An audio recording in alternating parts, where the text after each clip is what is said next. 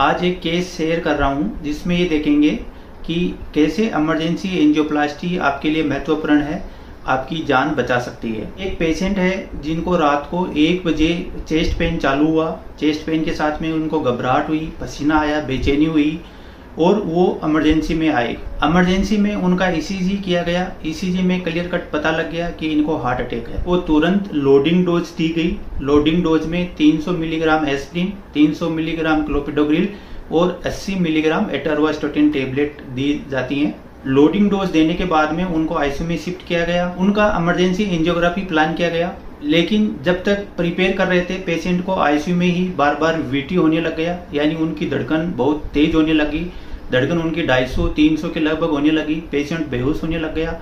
उनका बीपी पहले से ही कम था। इसी कंडीशन में फिर उनको बार बार उनको डीसी सोख दिया गया। बिजली के झटके दिए गए ताकि उनकी जो धड़कन है वापिस नॉर्मल आए। फिर तुरंत उनको कैथ लैब में शिफ्ट किया गया। कैथ लैब वो जगह है जहाँ पे एंजियोग्राफी एंजियोप्लास्टी की जाती है। जैसे ही उनका एंजियोग्राफी किया, उसमें देखा कि बाई साइड की जो दो नसें रहती हैं, वो दोनों ही उनकी हंड्रेड परसेंट ब्लॉक हैं। और इसी कारण से उनको बार बार वीटी हो रहा था। बाई साइड की उनकी दोनों नसें ब्लॉक थी, ऐसी कंडीशन में तुरंत उनका एंजियोप्लास्टी करना बहुत ज़रूरी था।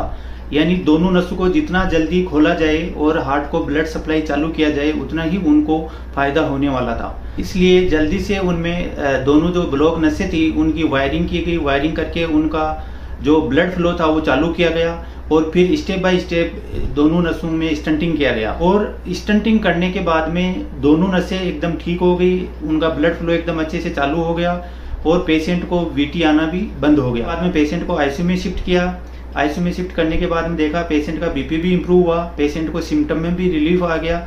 दो दिन उनको आईसीयू में रखा, उसके बाद में उनको डिस्चार्ज कर दिया। पेशेंट उसके बाद में दोबारा दिखाने के लिए आए, एकदम अच्छे थे हेल्दी थे और उनको कोई सिम्टम नहीं थे। ये केस आपसे इसलिए शेयर किया है कि जब भी आपको ऐसे सिम्टम लगे, जैसे भी आपको चेस्ट पेन है, घबराहट है, पसीना है, बेचैनी है तो उनको आप इग्नोर न करें और तुरंत अपने डॉक्टर को दिखाएँ, ताकि यदि आपका सही टाइम पे डायग्नोसिस हो गया और आपका अच्छे से इलाज हो गया तो आपका आगे चल के आपको कोई ज़्यादा दिक्कत नहीं होगी और आपकी जान बच जाएगी।